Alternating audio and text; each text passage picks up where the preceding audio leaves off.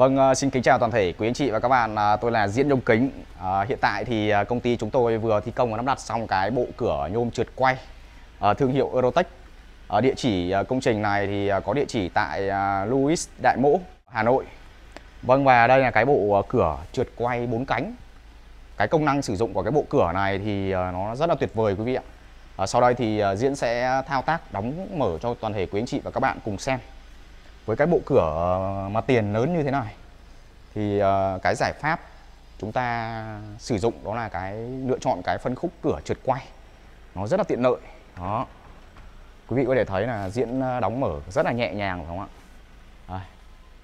Ờ, bộ cửa này thì có kích thước chiều ngang là 5m2 và chiều cao là 3m quý vị nhé đó. Diễn đẩy đây. Rất là trơn tru và nhẹ nhàng.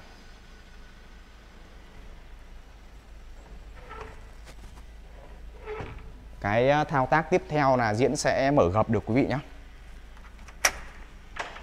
Đó. Rất là tuyệt vời. À, Cái yêu cầu của anh chủ nhà đó là Anh muốn cái không gian này. Ví dụ như anh à, đi xe ô tô vào trong nhà Thì ờ, ờ, anh có thể là anh đi nó không bị vướng. Bởi vì là ví dụ như chúng ta chạy xe ô tô vào bên trong Cái diện tích ở bên trong này nó không còn nữa Thì chúng ta sẽ không đóng được cửa. Đó mà chúng ta thiết kế cửa mở ra ngoài đó, ví dụ như chúng ta đi cái cái ô tô vào bên trong thì uh, chúng ta sẽ vẫn đóng lại được cửa bình thường quý vị nhé à, ờ, diễn sẽ đóng mở tiếp cái cánh cửa còn lại cho quý vị cùng xem. Đó. Rất là tuyệt vời phải không quý vị? Đó không gian thì chúng ta đã được mở toang hết ra rồi. À, điều đặc biệt ở trên cái bộ cửa này nữa đó là à, ví dụ như chúng ta có quét dọn lau nhà đây thì nó sẽ không có một cái dây gì ở đây quý vị nhé đó. Diễn, quý vị có thể thấy là diễn ờ, lau chùi ở đây. Thì ờ, đặc biệt là ở trên cái vị trí mà cánh cửa nó lùa ở đây, thì ờ, sẽ không có cái dây ở bên dưới quý vị nhá. Ví dụ chúng ta quét chổi hay gì là nó cũng không có cái dây ở bên dưới. Nó không đóng động bụi bẩn ở phía bên dưới. Đây, diễn sẽ đóng lại cho quý vị cùng xem. Ở bộ cửa này có kích thước rất là lớn đó chúng ta đóng lại và chúng ta sẽ ờ, chốt cửa xuống. Đó. Chúng ta sẽ chốt cửa xuống và chúng ta trượt.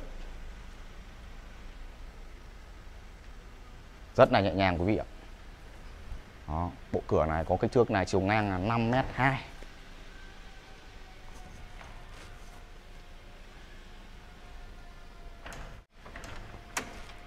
gạt chốt xuống chúng ta gạt chốt xuống là xong luôn